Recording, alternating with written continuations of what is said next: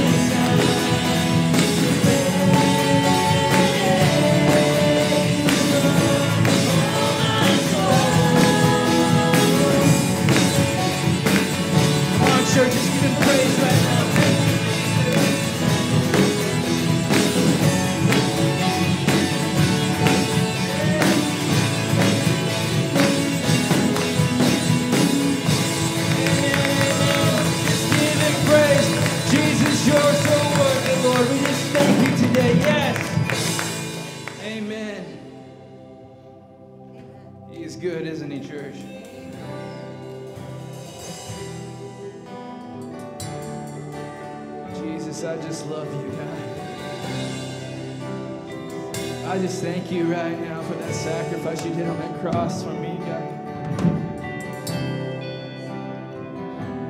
Lord, how you stepped out of glory for a sinner like me, Lord, a sinner like us, Jesus.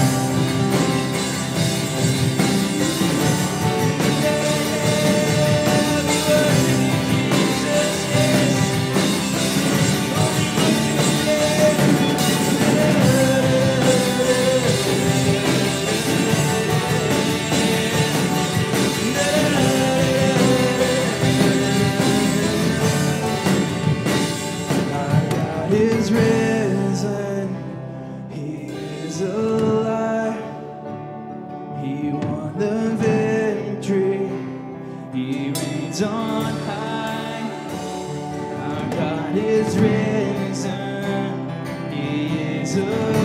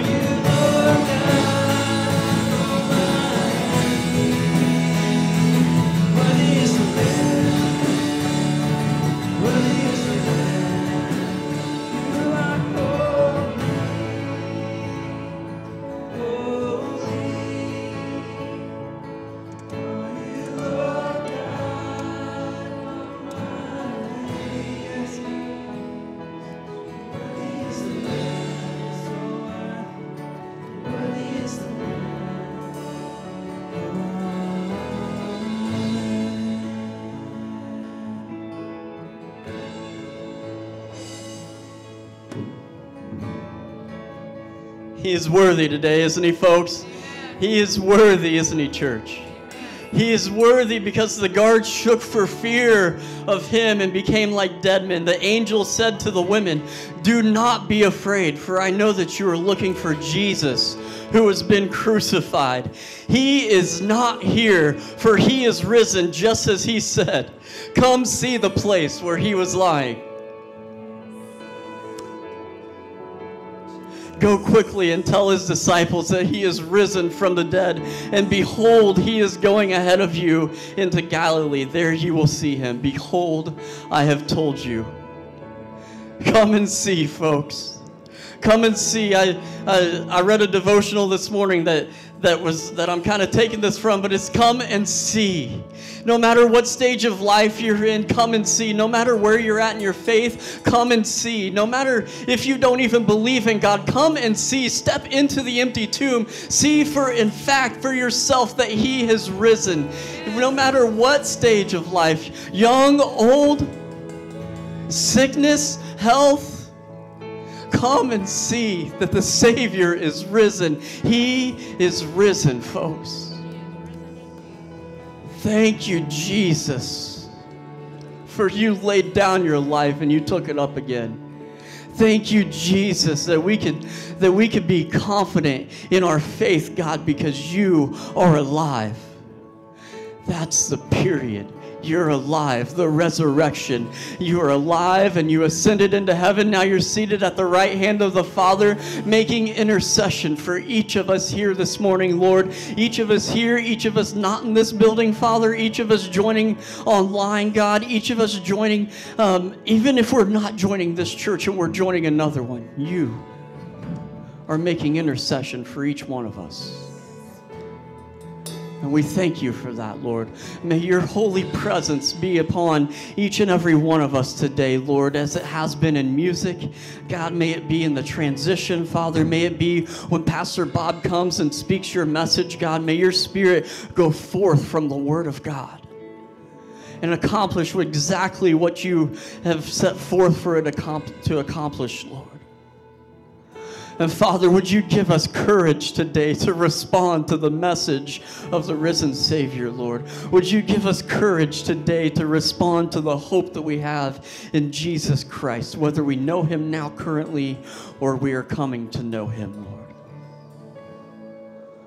Rest upon us, Lord, in Jesus' precious and holy name. And everybody said, Amen. As you turn around and greet one another this morning as you're seated, it's so good to see everybody. Thanks for those of you joining us online.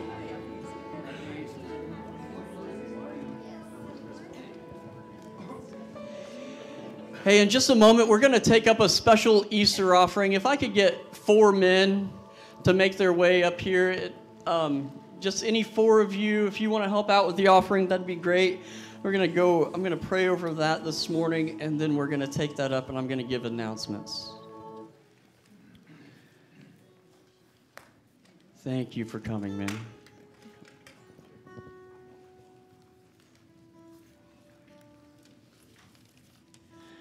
All right, Father, thank you. Thank you for this day, Lord. Once again, we just thank you for a risen Savior, Jesus Christ.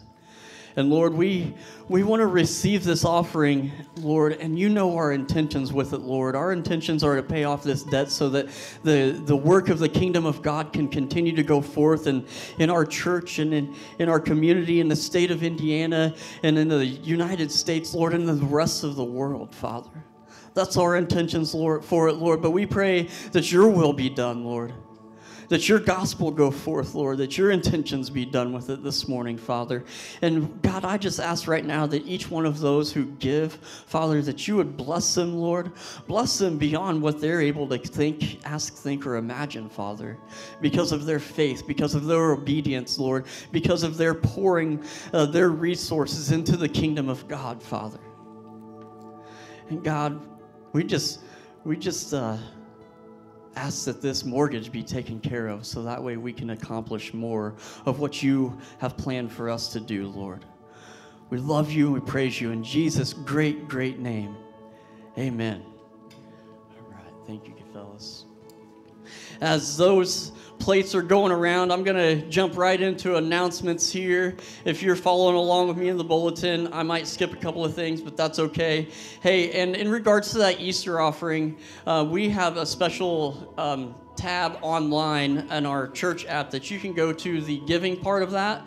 And there's a drop down menu there. And, and if you want to give specifically toward the special easter offering uh, that is available there for you to click on and give specifically toward that. We appreciate that uh, kids camp is coming up in july uh, july 7th through 10th the registration is open be sure to register your kids if you have them going to, to kids camp for kids camp 2 at uh, indiananextgen.org um, if you have any questions or need some help getting your kids registered for that, please see Pastor Carla or Lexi Slider. They would be happy to help you uh, get those kids. And if, if financial things are an issue for you, also please go talk to Pastor Carla or Lexi and let them know. We'd love to help you out in any way we can. Uh, the first Sunday breakfast for April that the women's ministry puts on has been canceled. That'd be next week. Um, the reason being is because we had breakfast today. How many of you got here early enough and got some breakfast? Yeah, come on. That was good stuff. We thank you. Uh, we thank the men's ministry for putting that on and, and for feeding you this morning. Ladies' Night Out is happening Friday, April 5th at 6 p.m. over in the fellowship hall where you had breakfast this morning.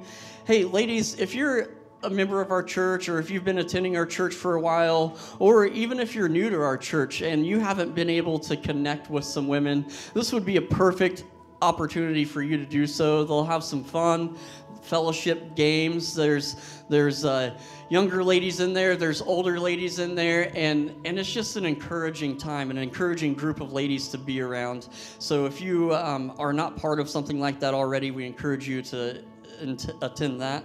Prayer meeting is going to be happening next Sunday evening, April 7th at 6 p.m. right here in the sanctuary. Everyone's invited. That's not reserved for specific people, but if you attend church here, you're invited to come out and lock arms with us and intercede for our community and some needs um, that we're, we'll make aware. If you have any questions about that, please see Pastor Bob. Board meeting this, uh, sorry, Tuesday, April 9th at 6 p.m., not this Tuesday, April 9th. Um, and the Stands Men's Conference is coming up on April 20th, 2024. If you have not signed up for that and would like to be, uh, there's still time to do that. Just go ahead and register for that. If you need help with registration, again, see Pastor Bob or myself. We'd be happy to, to help you get registered there. And lastly, if you're visiting with us this morning, there's a visitors tab on the back of the bulletin. You can also go to the I'm new here section on the app and fill that information out. But if you want to fill that out, there's pins in the back of the seats um, and take that up to our welcome center. Those ladies up there would love to meet you, to get to know you a little bit, and to welcome you to our church. Um, at this time, I'm going to invite Pastor Bob back from vacation. Can I get an amen? Go ahead and give him a round of applause as he comes. He's going to share the word with us this morning. Thank you, Pastor Tony. It's always good to be home. Amen. Amen. It's good to go. It's good to come home. I, uh, you know, I've had people, other friends in ministry, say, "How in the world do you get the week before Easter off?" I mean, Easter is like it. It's the Super Bowl of church. Every pastor knows this. You've got to be busy all the way up to Easter. So I'm grateful. Uh, years ago, when Pastor Mark was here. It's not, it's not my plan to take the week before Easter off most years, but it's because my wife is a teacher and that's her spring break in Danville District 118. They get the week before Easter off. And so Pastor Mark was always cool to let me be gone as an associate pastor leading up to that. And, and I'm grateful that I'm still able to uh, take the time off that I need to be with my family. But I'm grateful for that. Amen. And besides that, uh, as far as we go, we think every Sunday is important. Every Sunday is important. And so, uh, it's other than the breakfast that we served this morning, really, folks, if you're a visitor here with us today, what you're going to experience at church this morning is pretty much what you're going to experience at church every week. And I think that's important that we should experience that together and people have an expectation. So many people go to this big church production, and uh, can I just be honest with you? Pastors put a lot of pressure on themselves. Easter, especially, you know, it's like, oh my gosh, if we can, if we can just put on the best production, then maybe people will come back next week. And I think that the, the best production we can do is present the gospel every single week. That's the best thing we can do. And uh, I should be prepared to do that every single week, every single day, and so should you. Amen? Amen?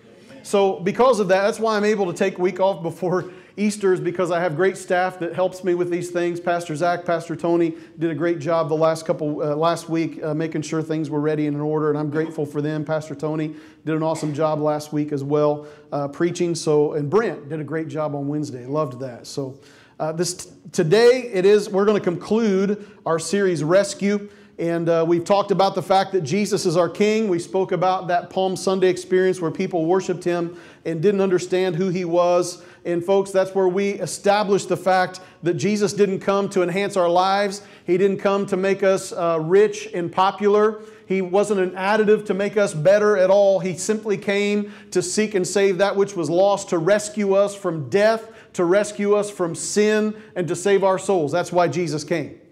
It wasn't blessed is he who comes in the name of the Lord to come and overthrow our government and set up a better government, even though he will establish the right government. Can I get an amen? He come to set things in order, of course, for the church, but to, judgment begins at the house of God, and it began there with him. He went and turned the tables over. We talked about all those things. But the fact of the matter is, is that Jesus came to save our souls. Secondly, we talked about Jesus as the Lamb of God our demonstrative God, our God that established and demonstrated his love for us talking about it all through Scripture, planning out the plan of salvation, beginning with Adam and Eve. Uh, we see it with Isaac and Jacob. We see it all through the Scripture over and over and over that a life would be given for a life. That without the shedding of blood, there is no remission for sins. And that Jesus would become our paschal lamb, our Passover lamb that would uh, cleanse us from all of our sin and unrighteousness. Then we talked about Jesus, our suffering Savior, just a couple weeks ago, how he, he, his, his uh, suffering was sufficient and necessary for our redemption. He didn't just die an easy, painless death, he didn't die some kind of a merciful death. It was, the, it was God's plan that he would be crushed. It was the Father's will to crush him, and he bore in his body the punishment that you and I deserve. So it wasn't just a life for a life, it was also wrath for wrath. It was appeased. The wrath of God was appeased that we might receive instead His grace and His mercy. And we even talked further about the fact that the punishment that was upon Him was the punishment that brought us peace. Come on, amen? amen right. And that it's by His stripes, by His wounds, that we are healed, both spiritually and also the opportunity to be healed naturally in this world. Last week, Pastor Tony covered that Jesus is our worthy sacrifice, did a marvelous job speaking of the cross and that substitutionary work that was done for us and how the blood of Jesus cleanses us from our sins. Even had a great uh, example in front of us that worked eventually. Amen. It was a good thing. I wasn't here, but I, I did some watching and listening uh, from the beach, and, and it was a great presentation. Wonderful, wonderful job of the testimony of the cross. And today, we're going to talk about Jesus, our risen King. He is risen, church. Amen. And some of, you, some of you that come from a more liturgical background, you, you held it back.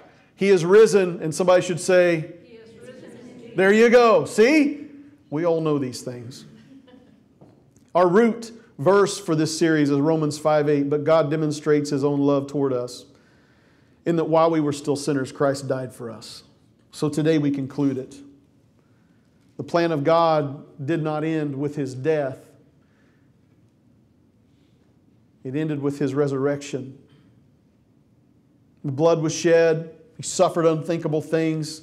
He laid down his life unto death and even took it back up again with an empty tomb and ascending to the right hand of the Father, where he now makes intercession for us. And, folks, this is the completion of the redemption process for us. Until we see him return to take us home with him, redemption is in place for us. The opportunity for us to believe and to be saved and to be redeemed and transformed is here for us today because we celebrate today here at Easter, here at Resurrection Sunday. We celebrate because we don't have a dead sacrifice. We don't have a dead sacrifice of a, a lamb that was then cast into the fire and all the things that took place. We have a living sacrifice in Jesus Christ who will live forevermore. Can I get an amen? And we are now called to be likewise living sacrifices who are holy and pleasing and serving Him. His blood that was shed speaks a better word than Abel's blood. Abel's blood cried out against Cain for judgment, but the blood of Jesus cries out for us for forgiveness and for mercy. And today we receive that with joy because of the empty tomb. The resurrection, church, it confirms everything. It's the exclamation point at the end of the gospel message there that's saying, ta da, he really is who he said he was. Amen. He, the tomb is empty. You're not going to find his bones. You're not going to find his body. I know every year I make this joke, but, but I've seen it on the History Channel. Somebody brought this little box that said Jesus written on it like a magic marker and said, Look, we found his bones. No, you didn't. No, you didn't. Go back to watching Ancient Aliens, man. It's, that's, the, the bones of Jesus were not found in some kind of nice little white container with a magic marker, the word Jesus on it. I don't know why they put that stuff on television. The tomb is empty, man. It's empty. He's not here. He is risen. There's a lot of things that we could talk about connected with the re- resurrection today, but I, I just want to give us hope and talk about the necessity of it. Why is the res- resurrection such a necessary aspect? A couple weeks ago, we talked about the necessary aspect of his sufferings. Today, I want to talk about the reason why it's necessary that Jesus would have risen from the dead. Why? What is the benefit of all of this, and why does it have to happen this way? Well, the first thing is, is that prophecy has to be fulfilled. All of the prophecies have to be fulfilled. I'm going to revisit some scripture that we used a couple weeks ago as it pertained to the sufferings of Christ. But I want to now focus in on uh, the wording inside of it where it points out the resurrection of Christ. In verse 10, Isaiah 53, verse 10, yet it was the Lord's will to crush him, that's his suffering, right? And cause him to suffer. And though, though the Lord makes his life a guilt offering, he will see his offspring and prolong his days, and the will of the Lord will prosper in his hand. After the suffering of his soul, he will see the light of life and be satisfied. By his knowledge, my righteous servant will justify many, and he will bear their iniquities. Therefore, I will give him a portion among the great, and he will divide the spoils with the strong, because he poured out his life unto death and was numbered with the transgressors. For he bore the sin of many and made intercession for the transgressors. As we looked at his suffering, these are the scriptures that we read. But you have to look at this and ask yourself some questions. Okay, Isaiah 53, we understand Isaiah 53 from the beginning to end is pointing, pointing Jesus out as a Messiah. It talks about his suffering, it talks about his punishment, it talks about his stripes, talks about the benefits of those things. And here at the end of it, we start looking at it and we say, it's God's will to crush him, but don't get caught up in the worries of the crushing because all throughout there, there's hope of the resurrection. It's not just ending with the crushing. Can I get an amen? It doesn't, listen, folks, this life doesn't just end with the crushing for us who are believers. There is a hope. Can I get an amen? You may get crushed. You may, you may have cancer. You may have disease that will cause you to die at some point, but it's not the crushing that has the last word. Our God has the last word. Amen. And because Jesus has risen from the grave, you and I have the same hope. So there's no it's easy for us to get caught up in our own lives with the frustrations of the sufferings, the trials, the difficulties, and say, Woe is me. But don't forget, interwoven throughout your life, the Spirit of God is making you promises and reminding you of the goodness of God that this is not the end. It's not the end. And so we see it right here. See in verse 10, he will see his offspring and prolong his days, and the will of the Lord will prosper in his hand. Hold on a second. How is it that someone can see their offspring after they die? How can, how can someone reproduce after death? It's not naturally possible, is it? Obviously, it's not naturally possible, but, but we know that Jesus did appear to the disciples, even 500 of them at one time, following his death. He was seeing the work and the fruit of his offspring. He is today beholding the fruit of his work and his offspring from the right hand of the Father, his Spirit of God flowing throughout this world, bringing people to Christ daily by the power of the resurrection. How can someone have days prolonged if they've been made a sacrifice? Again, we know that after his resurrection, he walked this earth and continued to minister to the disciples for over 40 days. Not to mention, his days have been prolonged beyond this earth. Can I get an amen? He, he didn't die again, folks. He ascended to the right hand of the Father. And everybody stood there looking. Like they were like, okay, he just floated away. Angel had to say, What are you doing standing here looking around? The same Jesus left like this will return in like manner. Go here, do this, right? Amen. Go get busy. It's going to take place. And so they saw all these things. How can someone prosper who has been killed? except that they're resurrected. Look at verse 11. After the suffering of his soul, he will see the light of life and be satisfied. Wait a second. This Jesus, who's going to be a sacrifice and die, will still see the light of life? How can someone see the light of life and be satisfied after the suffering of his soul in death? We know the light of life was satisfied in him, and we know that he's going to be alive for all of eternity. Amen. In him was life, and he was the life of men. He was the light of men, right? He's the one that lighteth every man. It's the life of God that's in him. He's created everything. He's the one that makes all things new. He's the one that's making you and me new today. Amen. Verse 12, therefore I will give him a portion among the great. I mean, how do you give anything to a dead person? Jesus spoiled the enemy, folks, conquered him. He, he, he, he beat the enemy with his weapon, his greatest weapon of intimidation with us, and that is death. I mean, everybody's scared of death. Oh no, Pastor, I'm going to die. What if I die? I'm sick. What if I die? Listen, folks, if you're a child of God, you're in Christ, I don't look forward to the dying process, but I know where I'm going. Amen. Either he's got me in his hand or he doesn't have me in his hand. And my faith ought to say he's got me in his hand. And if it's my time to go, bless me, Lord Jesus, take me home quickly. Make it a beautiful entrance. Amen. But if not, I'm just going to trust him. Listen, the enemy wants to rob us all the time with fear. Fear, fear. Many years, several years ago, I, I taught a, ser- a series where I talked about death, and some of you are scared to death. They go, death, death, death. Power of death. One out of 100 people die every year, right? That's the number, statistically talked about that. But then the whole rest of the message was talking about how Christ is greater than death. He helps us overcome. Amen? That's, eh, why, why fear death? We can hold on to him.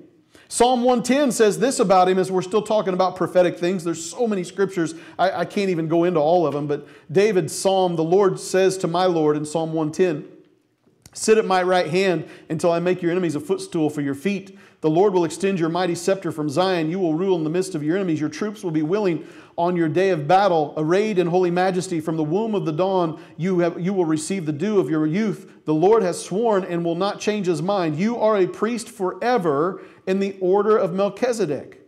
Before the Lord could invite Jesus to sit at his right hand, he had to first successfully complete all that was given for him to do by the Father. In that, why? So that he could ascend, sit at the right hand of the Father, be a priest forever after the order of Melchizedek. You say, what does that mean?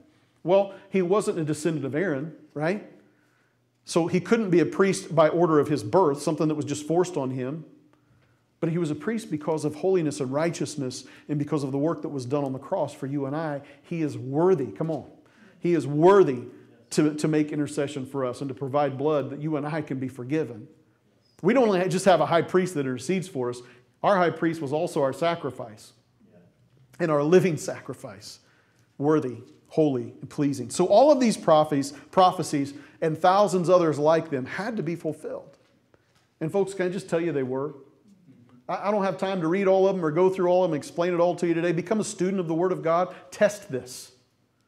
Test this. Look and see if the things that were said haven't happened and haven't taken place. Because if they have, if, if, if the scripture says that Jesus would come in human flesh, that he would live a holy life, that he would die for us, he would take his life back up again, if, if the scriptures have said that and he's done that, then we must take a closer look to what he has said and done and what his word says about it all.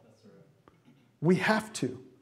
Secondly, the resurrection is necessary to complete the work of redemption. 1 Corinthians 15. But if it is preached that Christ has been raised from the dead, how can some of you say there is no resurrection of the dead? If there is no resurrection of the dead, then not even Christ has been raised. And if Christ has not been raised, our preaching is useless, and so is your faith. More than that, we are then found to be false witnesses about God, for we have testified about God that He raised Christ from the dead. But He did not raise Him if in fact the dead are not raised. For if the dead are not raised, then Christ has not been raised either. And if Christ has not been raised, your faith is futile. You are still in your sins. Then those who have fallen asleep in Christ are lost. What Paul's challenging them with is that if you are going to say, okay, I'll receive this Jesus thing, but, but that the resurrection, mm, it's too much. Dead things die, they stay dead, they don't get back up. That's, that's, that's where I draw the line. And listen, you can tell me all you want to that th- that kind of mentality doesn't exist. It does exist. I, I'll never forget years ago, I did a funeral, folks. I've done lots and lots and lots and lots of funerals. I've done funerals for all kinds of people people of faith, people who, uh, people who have trusted God, people who didn't know the Lord, families who had no understanding of God whatsoever. I've done funerals for babies. The youngest I've done is stillborn babies, and the oldest I've done is a woman of, of 99 years old, and she, she almost made it to 100, but not quite. I've done these funerals over and over and over. And you can stand there and you can talk about the resurrection, and you get this vibe from people. People who are people of faith sit there and you mention the resurrection, and they usually, a lot of times, they have their eyes closed, maybe a tear running down their face, and they go, they begin immediately envisioning their loved one saying, Wait a second, I, I know this looks terrible. I know this looks impossible. There's a hole there about ready to swallow up my loved one's body, and we'll not see them again. And it's easy to go to this place of despair. But, but when you start to talk about the resurrection, people of faith sit there and, and you can see smiles come over their faces. Peace settles in. They begin to understand wait a second, death doesn't have the last say for my loved one or for us. Yes, I'll miss them and I'll grieve, but I will not grieve as one without hope. And then I've done funerals as well for people who are completely godless. They, they have no understanding of these things. And you handle it delicately. But I remember this one. There was a, a lady who was a woman of God and uh, had been for her whole life, um, had been in, in a nursing home for many, many years, uh, and just their, their pastor that they had known was gone, all of these things.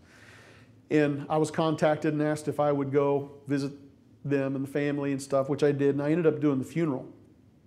And as I did the funeral, here was this woman of God who had served God her whole life, and her grandchildren, her grandchildren were probably borderline atheist, agnostic at best, not interested.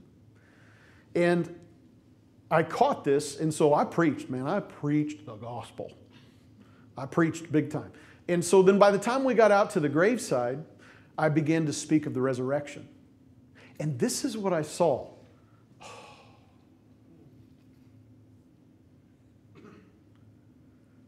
Looking at each other, rolling their eyes, shaking their heads, highly educated, all their degrees. It didn't make sense. Foolishness. You believe in fairy tales. I could just see it going through their heads and their minds. Folks, this scripture right here, I read it. I intentionally read it. I don't always read that. Those of you that have done funerals for your families, you know what I do at the graveside. It's pretty much basically the same thing every time. We talk briefly about the resurrection, but this one I talked about those people that say there is no resurrection. Why, why is that so clear? It's important for us to understand that this exclamation point at the end of the gospel message for us, the resurrected Savior, points to us and says, What are you going to do about this? And listen, if he's not raised from the dead, then you're hopeless. But if he has been raised from the dead, so if one side says he hasn't been raised from the dead and he's still in the ground, you're hopeless, and he really has been raised from the dead, what does that do for our hope? It gives us hope.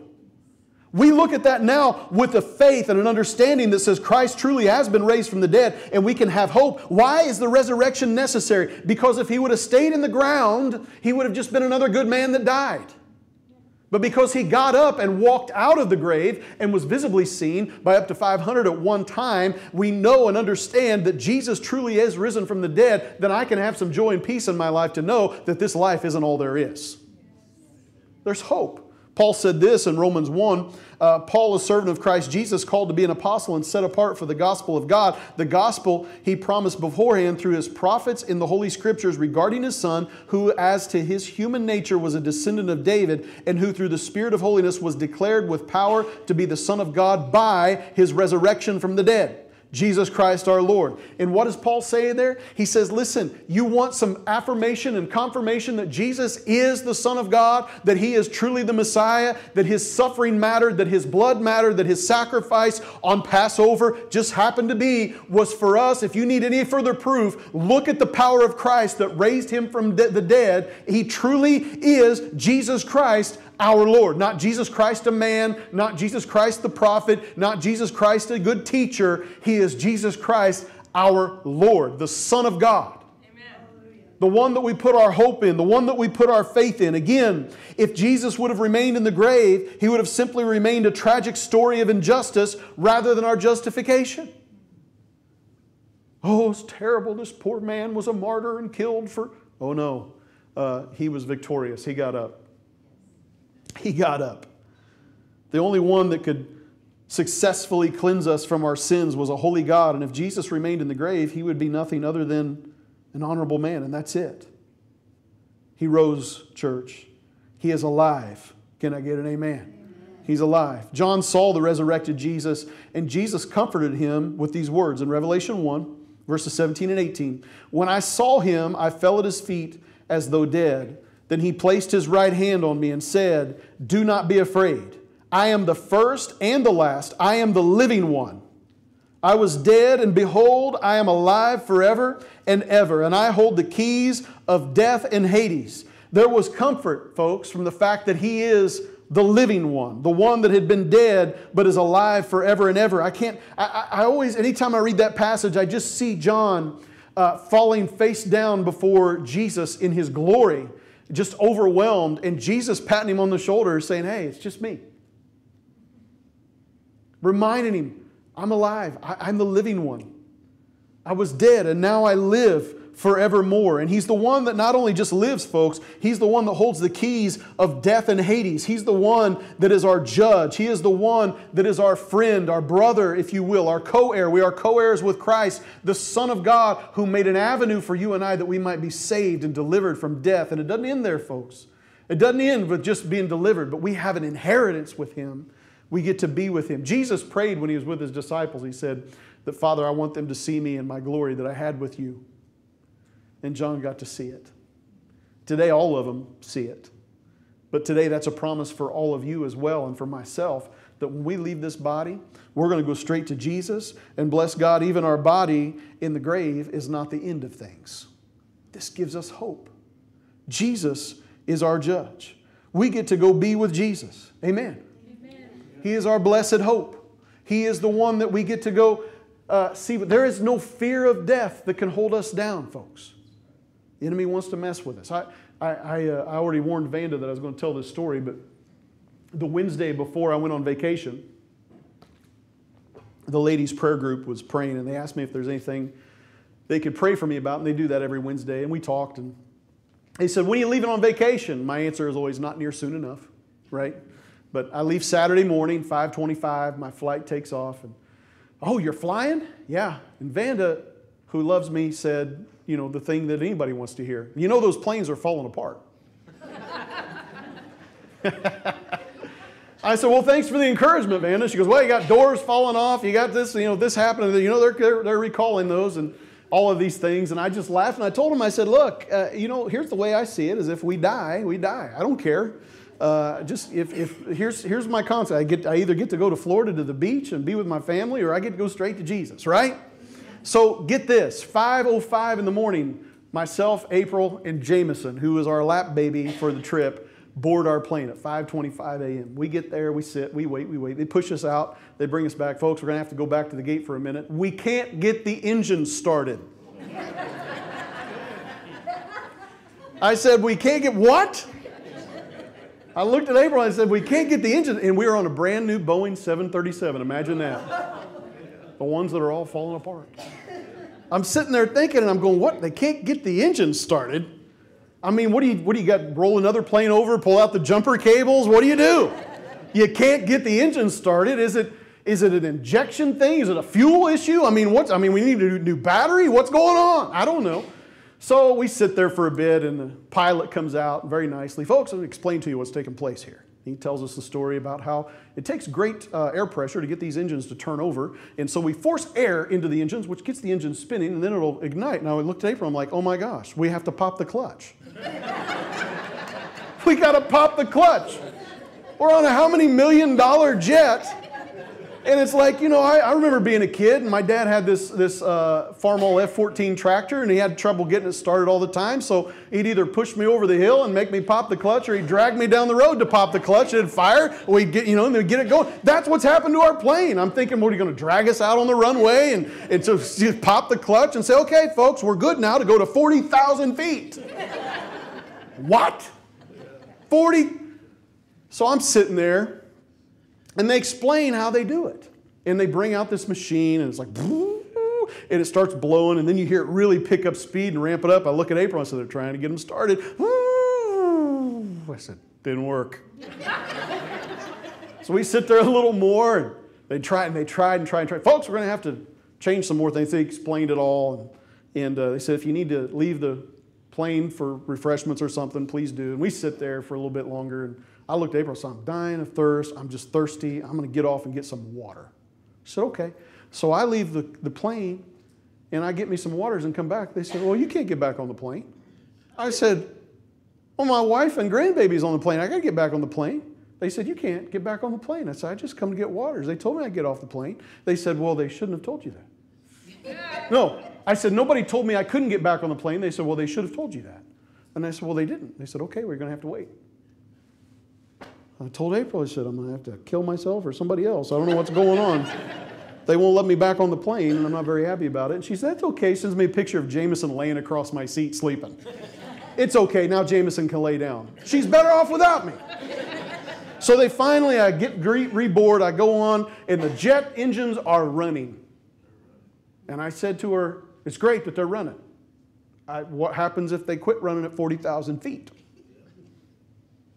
We laughed about it in all honesty, like I told her, I said, if we die, they'll miss us a little bit. Jameson, everybody will really miss him, and they'll get over us eventually. But, folks, in all seriousness, why do we worry about these? Listen, Christ has risen from the dead. An airplane doesn't have the last say in my life. If the engines decided to quit working and that, uh, that 737 decided to try to glide its way into Tampa later on, uh, you know, and we, we come into a fiery crash somewhere over Tennessee, I mean, I like Tennessee too, so be it, whatever.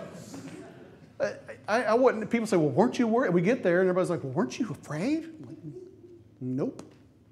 I honestly was not. If it was God's will to take me home, then so be it. Amen? Amen? And even if I die, it's not the end of it. There's a resurrection. Amen. We're going to talk about that quickly. I'm sorry I'm talking too much about this story. But even if the plane went down in a fiery crash and all they find is a part of Bob over there and a part of Bob over there and a part of Bob over there, and they get a hand and a foot and throw it in a casket and stick it in a hole somewhere and say, This is Bob, at some point the resurrection is going to happen. I'll be waving at you and kicking all the way to glory. Uh, uh, so be it. Jesus has the last word. Us Christians are weird, folks. Why? Because the tomb is empty. Nothing's impossible. My, my, my destination is sealed. I know right where I'm going. I know better. I have a better shot of going to heaven than I do to Tampa. Dead serious. I promise you that that's my destination. Nothing's going to mess that trip up.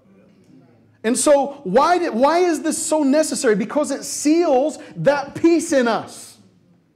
It seals that peace in us. This Jesus who raised himself from the dead. Nobody had to raise him. Nobody had to say a sooth or burn a candle or burn some sage or do whatever. And, oh, Jesus of Nazareth, come forth. No, Jesus got up himself. Only God can do that. And if my God can do that, then I can have peace about today.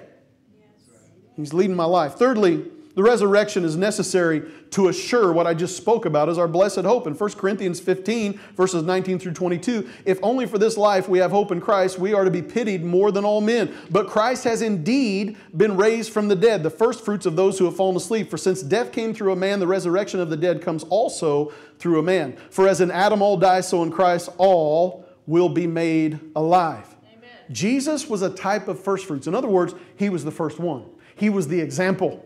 People say, Pastor, what's going to happen at the resurrection of the dead? Well, look at Jesus. The only difference between you and I is in him is that we're not going to be resurrected to walk around the earth for 40 days. We're just going to go straight to be with the Lord. The dead in Christ shall rise first. And those who are alive and remain will be caught up in the air with him. That, that's the plan of that's for us. And again, I've said it before. I don't know how quick it's going to be. I don't know if it's going to be poom poom, or it's going to be poom, poom, or poom, poom. I don't know. All I know is that the dead in Christ rise first. Well, how are they going to look? What's it going to look like, Pastor? Well, look at Jesus. The tomb was open and it was visibly empty. It could be inspected. I, I believe the graves will be open. I believe people, I believe that the dead, the resurrection of the dead, isn't something they're going to have to do an archaeological dig to discover. I think it's going to be obvious. I, matter of fact, I referenced this when uh, at Merrill's funeral just a few weeks ago, and we were staying at the cemetery, and Merrill was being buried here, and then all the family was facing the casket, sitting back this way, and they're on top of Lowell and Maxine's graves and others of their family, and I said, "Well, I hope it don't happen right now." Hope it don't happen right now. You're sitting on top of them graves. I don't know. Just being facetious. But that family, you could, you could smile because there's hope. Listen, folks, this Jesus that we're talking about, he was the first fruits of this. In 1 Corinthians 6:14, Paul says this, by his power God raised the Lord by his power God raised the Lord from the dead and he will raise us also. Come on somebody. Amen. Scoff all you want. Roll your eyes and sigh all you want. The power of God is able. Yes. The power of God is not only able, but the power of God will raise us from the dead. Philippians 3 says this in verses 10 through 12 I want to know Christ and the power of his resurrection and the fellowship of sharing in his sufferings, becoming like him in his death, and so somehow to attain the resurrection from the dead. Not that I have already obtained all this or have already been made perfect, but I press on to take hold of that for which Christ Jesus took hold of me. Folks, I haven't attained the resurrection of the dead yet, but I've been sealed for it. I, I haven't, I, I, the work in Pastor Bob isn't complete yet. The Lord still has some things He wants to do in me and through me, and, and that's all fine and dandy as long as there's breath in my, my body. I'm going to cooperate with Him and walk with Him and trust Him to bring transformation in my life. That's who He is, that's what He wants to do in me. He's, he's King, and I'm, I'm His servant, His subject. Amen. That's what I'll, I'll let Him do but I have been sealed for the resurrection. I can guarantee you that I will be resurrected to eternal life. Well, that seems arrogant. How do you know? Because I put my faith in Jesus, the one and only Son of God, the one who, who died for me, the one who will judge me, the one who loves me. John's experience as he was there in Revelation and sees the risen Lord and gets touched by him. And he says, Look, I'm the living one, the one who is dead and now alive forevermore, and hold the keys of death and Hades in my hand. I, I have to remember and understand that he loves me. Jesus, the righteous judge, is the one who died for me and also will judge me. How cool is that? It's like, wow, I wonder what he's going to say about you. Well, I can tell you this that he died for me while I was still a sinner. So he loved you before you loved him. Yes. And he made an avenue for you to be in right relationship with him so that you might receive eternal life. Yes. And that's your judge? Yes.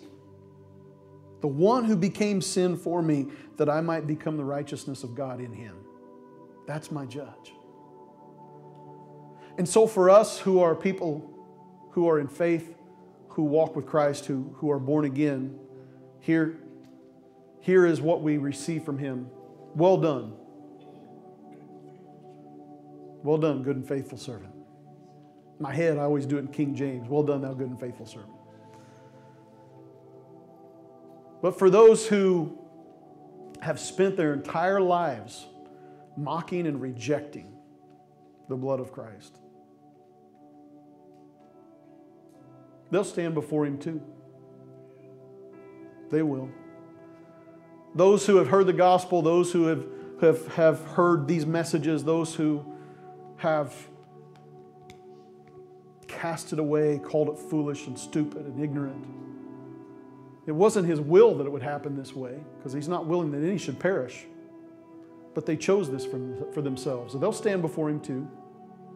And they'll try to make their arguments and they'll try to say, I did this and this, but I was a good person. And he'll say, Depart from me, you worker of lawlessness. I never knew you. Those, those two options, those two things right there, are two vastly different responses. And both of them hinge upon where we put our faith in light of all of the things we've talked about the last five weeks. That Jesus is the Messiah, that He demonstrated His love to us by His suffering and the cross, and His blood has been shed to cover our sins, and the fact that He didn't stay dead but rose again from the dead to ascend to the right hand of the Father. We have to take all of these things into account and say, where do I stand with God? Have I been born again? Closing with this scripture that has been our root scripture for the last five weeks, but I'm doing what Pastor Tony did last week, backing up a little bit and reading a larger portion. But Romans 5, verse 6 you see, at just the right time, when we were still powerless, Christ died for the ungodly. Very rarely will anyone die for a righteous man, though for a good man someone might possibly dare to die. But God demonstrates his own love for us in this. While we were still sinners, Christ died for us. Since we have now been justified by his blood, how much more shall we be saved from God's wrath through him? For if when we were God's enemies, we were reconciled to him through the death of his Son, how much more, having been reconciled, shall we be saved through his life? I beat myself up for a long time. I felt like it was impossible. There's no way I could ever serve God and please him. Could never be good enough. Day in, day out, I would fail and think, ah, God's mad at me again. It was easier to get saved than it was to stay saved, you know? But this section of Scripture changed my life. I mean, just eyes opened up, heart opened up. He not only died for me when I was a sinner, but verses 9 and 10 since we have now been justified by his blood, how much more? Everybody say more. more. Oh.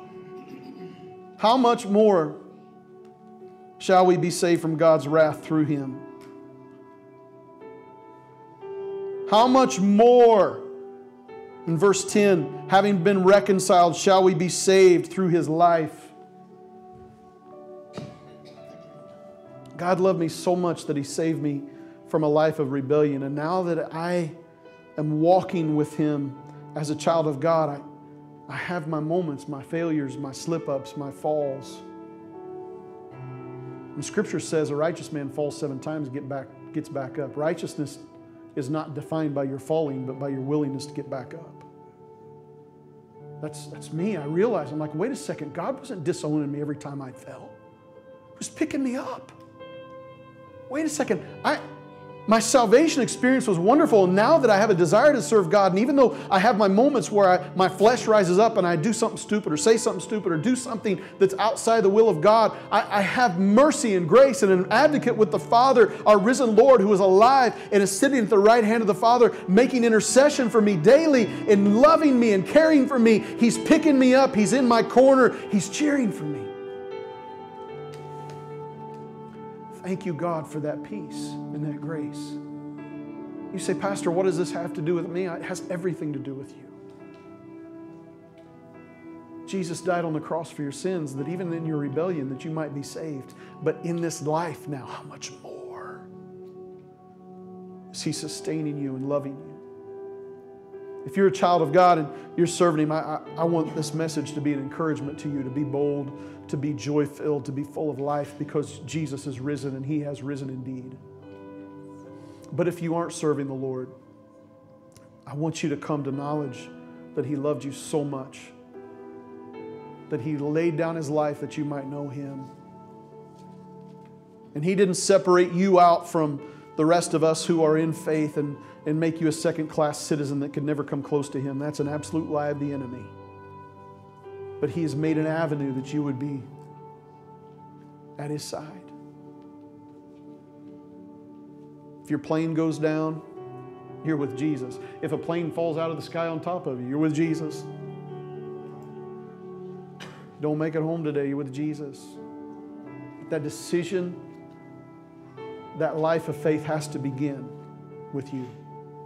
Nobody can do it for you. I can't pray you into heaven. I can't pay you into heaven can't buy your way in there. I can't, I can't do anything. My dad used to say as we were dragging our feet on, sun, on Sunday morning to go to church, you better get up and get ready. Ain't nobody riding my coattails into heaven. We all had to be make our own faith in Christ and work out our own salvation. And friend, it's the same for you, just as it was me. You have to come to grips with it, and you have to make that decision. Would you pray with me this morning? Father, we come to you. We thank you for the empty tomb. We thank you for the promises connected with it, God. We thank you that all the scripture has been fulfilled and the confidence we have in Jesus there, Lord. We thank you for the, the hope that's available to us, God, the salvation that's been sealed and finalized for us. The path of redemption is there because the tomb is empty. And that our living Savior is at the right hand of the Father interceding for us today. We thank you that we have the blessed hope that our lives don't end here, but you are not only our Savior, but you're the one who resurrects us to be with you. But Father, we come to you right now if there be anyone who has not surrendered their lives to you, whether in this room or joining us online. God, that today would be the day. They would begin to call out to the name of Jesus, the name that's above every name, the name with all authority in heaven and on earth, and the glory of heaven would just fill their lives today. If you're here with us today, you say, Pastor, I, I'm not serving the Lord, and today I would like to take a step of faith into that life, that new life that's available through the blood of Jesus and the empty tomb. If that's you, would you just simply lift your hand? I want to pray with you and believe with you for God to do a work in your life. If you're at home watching us, man, message me, private message me. I love you. I want to help you. Awesome. Will you stand with us this morning? Will you just simply lift your hands and just thank Him today? We thank you, Jesus, for your goodness. We thank you for the salvation that's offered to us, Lord. We receive it with joy. If there's any issue of repentance in your life, just begin to bring that to Him right now, Father. Forgive me for this falling. Forgive me, Lord, for my sins and help me to get up. Help me, Lord, to move forward in holiness and righteousness to please you every day, God. We want to honor you with our lives because you honored us with yours. We bless you. We bless you, God. We thank you today for salvation. We thank you that the tomb is empty. We thank you that you're coming again. We thank you that you're going to return for your bride, just as you saved us at just the right time. So your return is at just the right time, whenever that is, God. We're thankful that we are a part of the family of God and of your kingdom. We bless you today. We thank you today. We glorify you today. In Jesus' name. May the Lord bless you and keep you. Make his face shine upon you, be gracious to you, turn his countenance towards you and give you peace. Go in the peace of God, go in the peace of the empty tomb. Enjoy your time with your families today. We love you, and we'll see you back here Wednesday. If you have any special needs or prayer or anything, let me know. I'd love to pray with you. Otherwise, we'll see you later. And Miss Sandy Crowder did not watch us online today. She is in the room. She's right here. Good to, good to see you, sweetie. Bless you all. You're dismissed. Have a good day.